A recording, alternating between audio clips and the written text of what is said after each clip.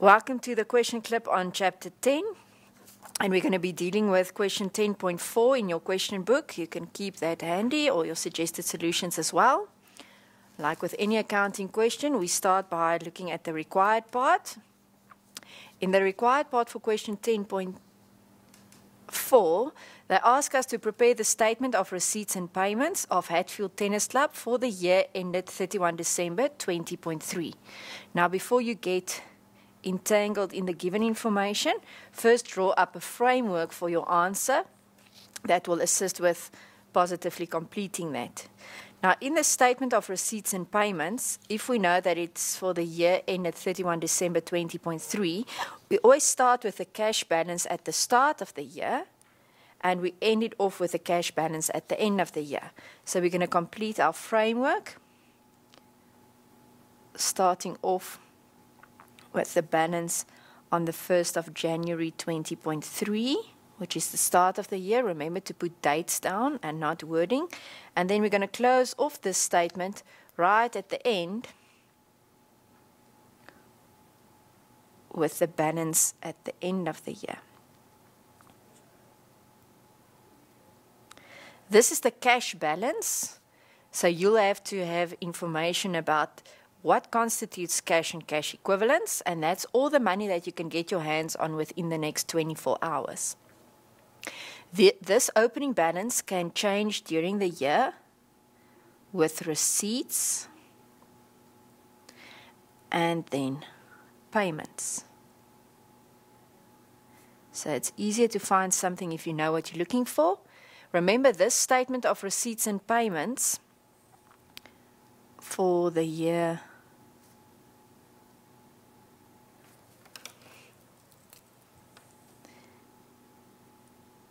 ended 31 December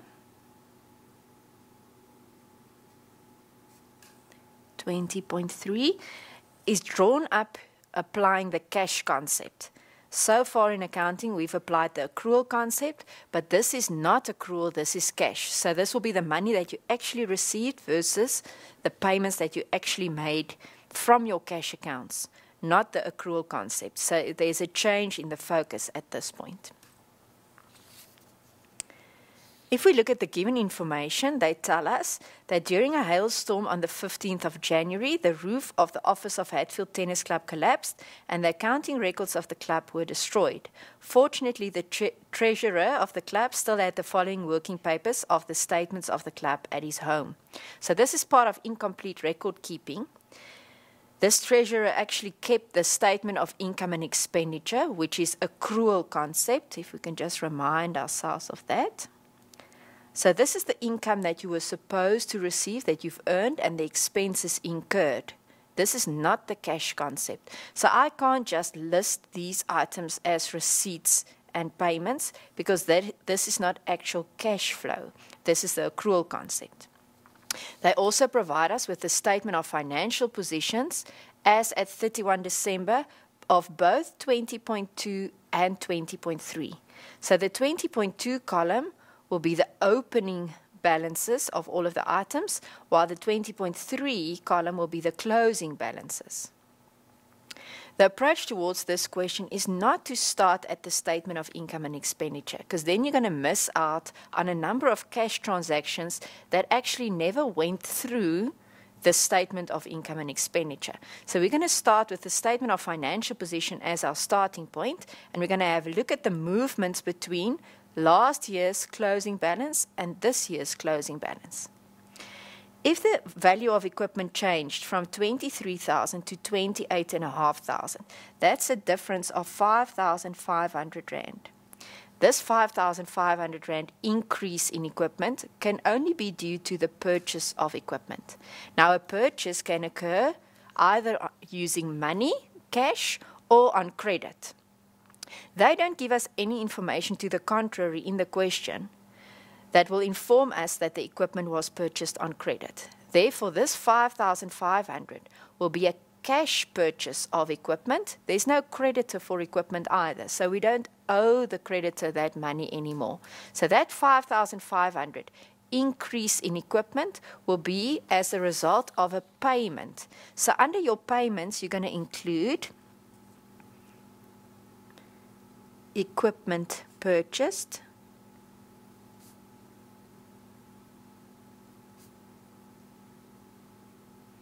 And the 5,500 must be included in a bracket to indicate that it was a payment. Remember, this is receipts and payments, so we want the flow clearly identified as either inflows or outflows. So we use a bracket for the outflow. The next item in the statement of financial position is the accumulated depreciation that changed from 6,100 to 8,500.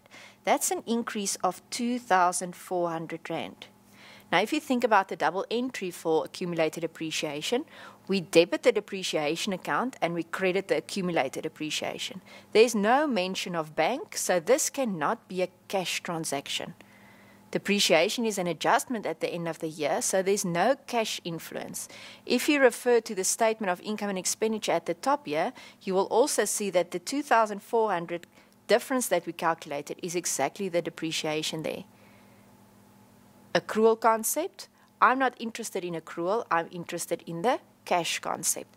So the depreciation will not be included in my statement of receipts and payments. If you do include it, you're not adhering to the cash concept which this statement is based on. The next item in the statement of financial position is the investment that changed from 4,000 to 5,000 Rand. That's an increase of 1,000. If I increase my investment, I can only get the funds from my bank account. No one else will give you money to invest. So this increase of a thousand rand is due to a decrease in my cash of one thousand rand. So I'm going to include that as an outflow, and that is investment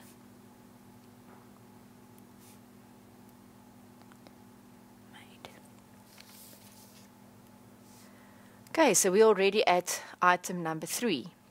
If we have a look at the next item, we have tennis balls on hand.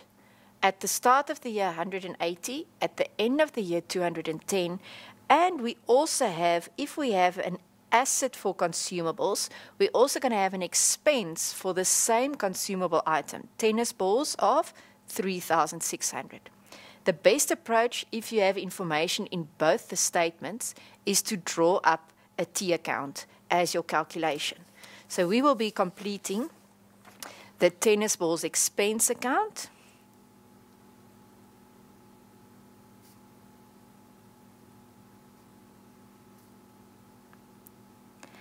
And now we're going to draw on your knowledge of previous chapters. If we had tennis balls on hand at the end of last year, we will first transfer this balance to our expense account because you will first use the old consumable goods before you purchase new ones. So this 180,000 has to be transferred to the expense account.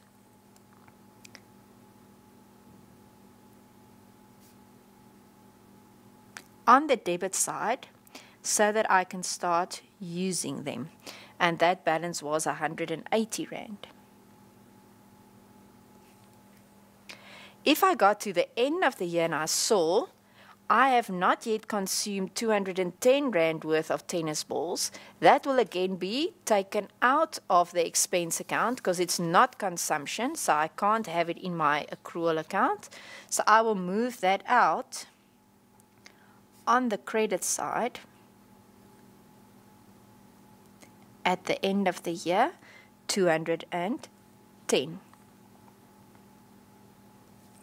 Now, the statement of income and expenditure shows tennis balls of 3,600. And now you have to remember, in the accrual concept, this 3,600 represents the tennis balls consumed because accrual is expenses incurred. This 3,600 does not constitute tennis balls purchased. So I have to think about the closing transfers for expense accounts. And a closing transfer for an expense is an entry on the credit side of this account. So I took the consumption of the tennis balls to the income and expenditure account on the credit side 3600 at this point I need an entry on the debit side of this account to get the account to balance. And that balancing amount will be 3630. An increase in my expense will be due to a purchase, and the purchase can either be cash or credit. They don't tell me anything to the contrary, so I can assume that that 3,630 was tennis balls purchased with money from the bank. So I do not use my closing transfer as the amount in the statement of receipts and payments. I'm looking for cash flow, so I have to use the 3,630. So I'm going to have my tennis balls purchased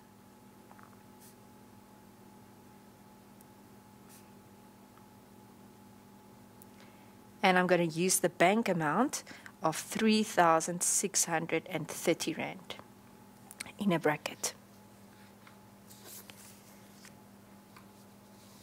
Okay, so at this point we use the tennis balls on hand and we use the tennis balls expense account at the top. If I follow the process, I won't omit any of the cash flow items. Membership fees receivable I have 300 Rand and 140, but I also have membership fees received in advance at the end of the statement year. I have a membership fees income item and I have a membership fees written off item. So as soon as you have information in more than one position in the statements, the best approach would be to draw up a membership fees account. The membership fees account is drawn up in three phases.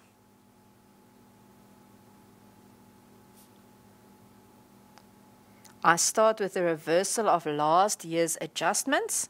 So my reversal will constitute the asset that will be entered on the debit, debit side, membership fees receivable, the liability of last year on the credit side,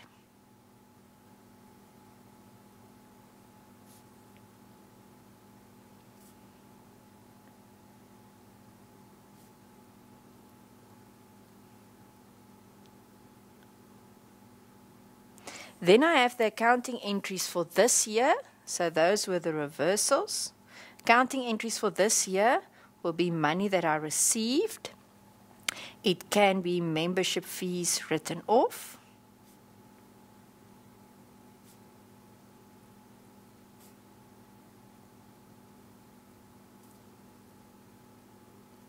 I can have refunds on the debit side.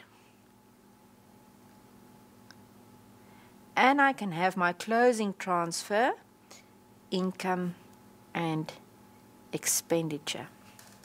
That's phase two. So this is the current year's information. Then I will have my adjustments at the end of the current financial year. That will be my membership fees receivable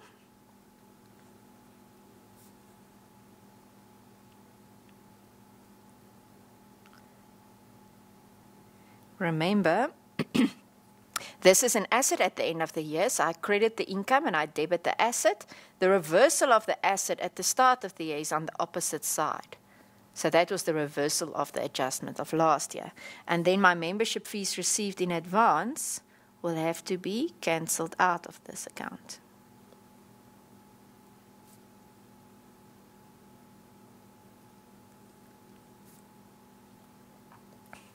Okay, so I have my structure written down. Now I can include the amounts. The reversals of last year I will get from the 20.2 column. So I had membership fees receivable of 300 Rand and I had membership fees received in advance of 400 Rand. So these two, 300 and 400, will be the first phase, the reversal of the receivable and received in advance. Then if we can quickly do the adjustments, because we're in the statement of financial position, I had membership fees receivable of 140, 20.3 adjustment, 140. And I had membership fees received in advance of 540 Rand. I got those two amounts from the 20.3 financial year. So I've included membership fees receivable, membership fees received in advance, and now I can go over to my statement of income and expenditure. This membership fees, according to the accrual concept, constitutes my closing transfer to the income and expenditure. So that 28,800 will be included in my closing transfer entry. It's not the bank. The bank is actually the balancing amount that we are looking for. We also had membership fees written off of 120. So I can include that as my membership fees written off. They don't mention anything in the additional information about a refund, nowhere in the question. So I can calculate the bank as my balancing amount of 28,980. That amount can earn me a mark in my statement of receipts and payments.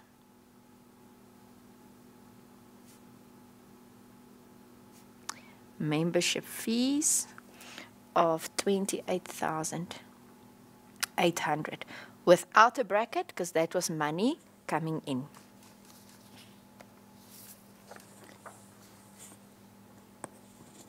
Oh no, it's 28,980. Sorry. 28,980 because it's my bank amount. We've dealt with the membership fees, the membership fees written off. So now we can carry on in our statement of financial position. The next item that we encounter is the bank. 2,000 Rand at the start of the year, 6,210. Those are probably the easiest two marks to earn because we've got them written in our framework. Balance of cash at the start of the year and the balance of the cash at the end of the year. So I can just include my balance at the start of the year of 2,000 Rand. It's a positive balance, so it has no brackets. And then my balance at the end of the year of 6,210 Rand. So if I follow the statements, I will not forget any of the items.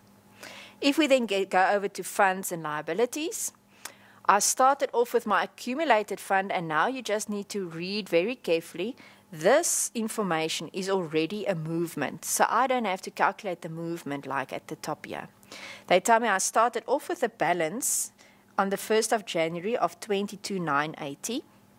I have a surplus for the year of 4,440. This surplus is the result of my statement of income and expenditure. That means that we have to go back to this whole statement and include items that we have not yet ticked off that constitutes cash flowing in or out. We will just leave that until we're done with the whole statement. So that's a reminder that you have to run through this statement again. If we then have a look at the last item under the accumulated fund, the entrance fees of 3,500, entrance fees will have to be paid to the club. So if I debit the bank, I can credit entrance fees. The entrance fees can either be closed off as part of profit and loss, but that did not happen. That means that they capitalized the entrance fees of three and a half thousand. This is already the movement of the current year, and that will have to be a receipt in cash, although it's not part of my surplus or deficit calculation it's still money that came towards the club. So I'm going to include my entrance fees.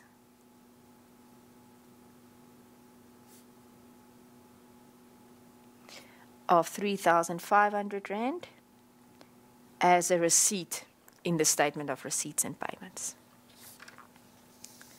Okay, the last item that we still need to have a look at in the statement of financial position is wages payable of 100 Rand at the end of the year. We have information in the statement of financial position and we have salaries and wages information over there. So we're going to draw up a T account again.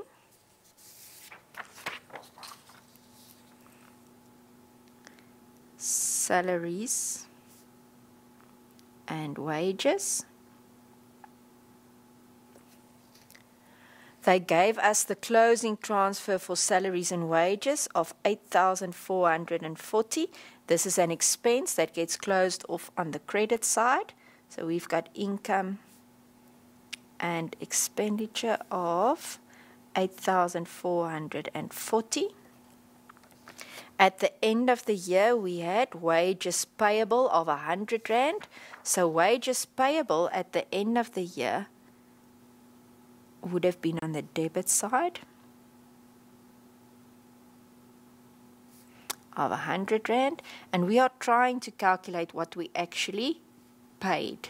So bank will be our balancing amount of 8,340. I can include that in my statement of receipts and payments.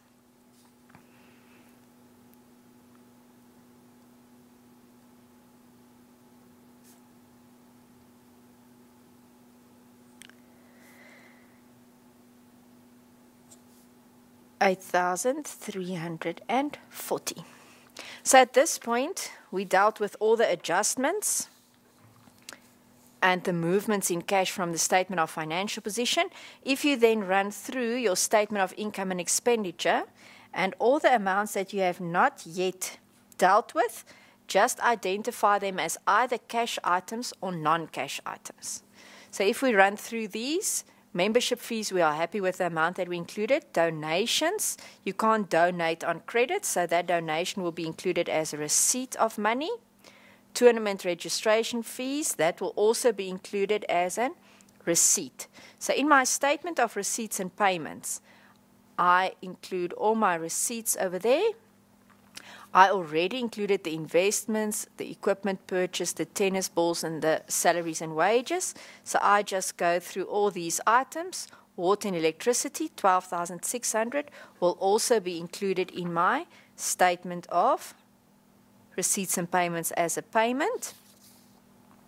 We already dealt with all of these items, and the last one is the general expenses of 2,400. And if everything went according to plan, your opening balance 2,000 plus your receipts of 37 minus your payments of 33 will give you your closing balance of 6,210. I hope that you will find this video beneficial to your studies and I look forward to speaking to you again.